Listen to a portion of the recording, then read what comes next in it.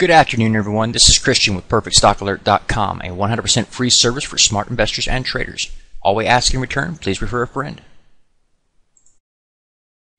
Today is Monday, June 24th, 2013. We're looking at a couple charts today, starting off with the Dow Jones Industrial Average. I'd like to address a couple things I'm hearing uh, from individual traders as well as mainstream media and so forth and so on. So uh, the main thing is that they keep looking at this little bitty pullback, and a lot of people are saying, you know, this is a great buying opportunity. Uh, other people are looking for hammer reversal signals so they can play the bounce to the upside, yada yada. I wouldn't even touch that. Uh, that's a horrible idea in my opinion, and the reason I'll show you in a moment. But looking at this chart, looking at the Dow Jones Industrial Average, a couple things I want to point out. Yesterday, or not yesterday, Friday, we talked about this candlestick formation. It's not a hammer candlestick formation, and this volume here was not what it would look like, not a bunch of buy volume that had to do with options expiration. And so this wasn't going to be a, great entry opportunity on the long side or whatever. And there were people out there who actually went out and bought ahead of that, anticipating a bounce.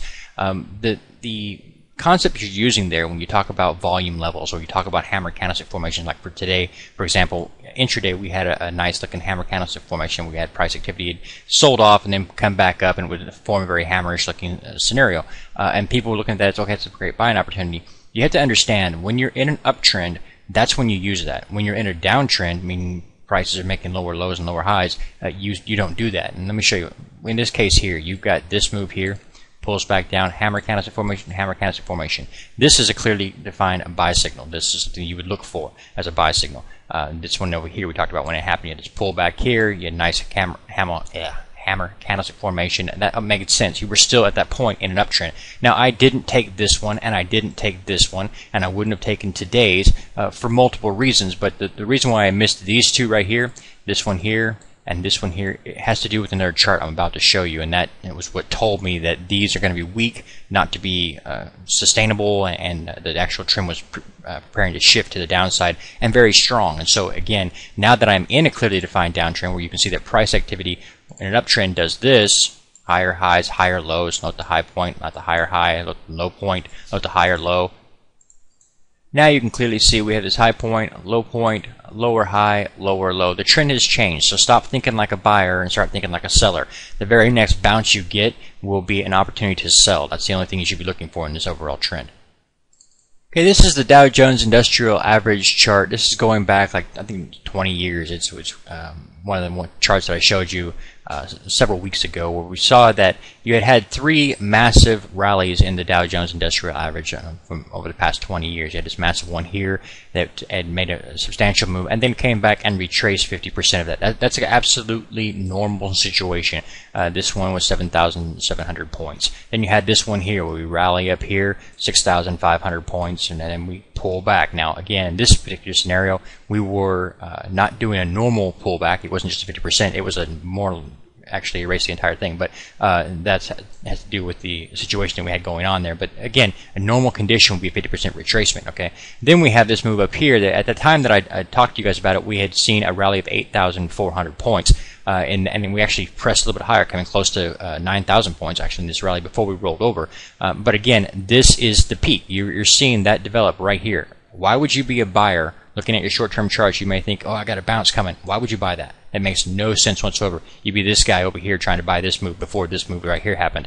I would be betting in favor of the bigger move to the downside rather than a little tiny couple points to the upside. That doesn't make any sense. And again, this chart indicates that you have a massive move still coming here. If we were to actually pull out the Fibonacci retracement numbers and actually use the low point to the high point, you would see that 50% is the normal retracement point. So this is thousands of points to the downside versus I might get a couple hundred points to the upside. I wouldn't make that trade. Okay, here we are looking at the NASDAQ. This is something else that a lot of people might be looking to go buy uh, different scenarios. Again, I want to point out you've closed below the 50 period moving average, indicating a sign of uh, substantial weakness here.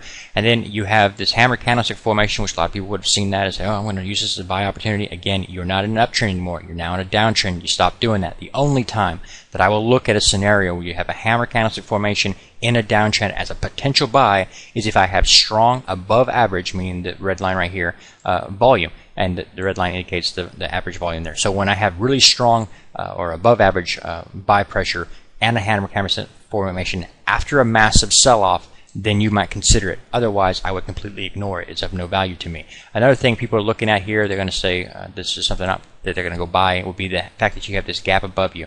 I talked about that last Friday, I believe it was. told you that this is not something I'd be betting on. You have gaps below you as well, and these gaps down here could just easily be filled long before this one is. You'll notice that we had one happen again here today, and we saw some intraday activity start to pull up and couldn't even fill it and started selling off again. So again, don't be trading based solely on gaps and things like that or, or hammer candlestick formations. Start with the trend. That's the most important. And this trend is clearly down. You can see the high points, low points, lower high, lower low, again and again and again. There's nothing here to do but sell. Any bounce you get, take it as an opportunity to sell. Okay, just to drive my point home, this is a chart of the NASDAQ going back to the 2007 time period, just before the, the 08 uh, crash and the 09 bottoms over and so on. I want to point out a few things. You had a massive rally that was going on with lots of gaps in it. I warned you guys when that was happening currently that we have seen this before. Lots of gaps to the upside is not a sustainable scenario. And then you come back and you just erase all of it, everything that you've done before. Even though you had the same conditions, you had pulled back, you closed below the 50 period moving average, everything that I'm showing you here, we've already seen on the other charts. And you can see that we came down here, found resistance at the 50 period moving indicating that it was a change in, in uh, sentiment, change in momentum, change in direction of the chart. And then we come down here and then we get this bounce. Take out the previous high. On, and then all the bulls back there in this time period said, oh, we're, here we go. This is a return of the bull market that will never fail and blah, blah, blah, blah. We have seen the exact same scenario this time around. Now notice this. You get this gap here and a gap here. You sell off. People looking for an opportunity to go long. Uh, sure, you get a move here and then down we go lower again. People again still looking for an opportunity to go long, and again talking about these gaps up here and how they're going to come up here and fill. They do fill four years later in 2011 after the crash, and then again gap here, and we started to sell off. And you know what happened? We went into the 2008 crash and so forth and so on. So don't be looking at a chart solely on gaps. When you have a condition that's already indicated a breakdown of the uptrend, which we've talked about repeatedly, as well as the multiple gaps to the upside in the current rally we've just uh, been erasing, uh, those are indications of a massive top forming. Like I showed you on the Dow Jones chart, uh, you have a massive rally that's happened. Now you got the Fed that's that's been stimulating that. He's stepping out of it. What do you think is going to happen? You're going to fill a lot of that, at least 50% in a normal scenario. So uh, there's a massive move still coming. Okay, I update my personal charts, the charts I've shown you, as well as um, the long-term charts on here on the website um, under the market charts section. Update them nightly. You can check them out whenever you'd like. I've actually advanced uh, or uh, advanced some of the stops and backed some of the other stops off. So check that out for, for yourself on the website. Also, we've got some uh, more signals on buys and so forth. I mean, not buys, uh, sells and things like that. So uh, check them out. Again, the website is free. All we ask in return, please refer a friend. God bless. Take care, and I'll see you in tomorrow's video.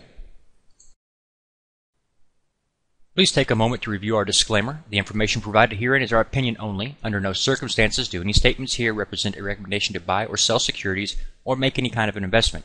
You are responsible for your own due diligence. To summarize, we do not provide investment advice, nor do we make any claims or promises that any information here will lead to a profit, loss, or any other result. These videos are for educational purposes only.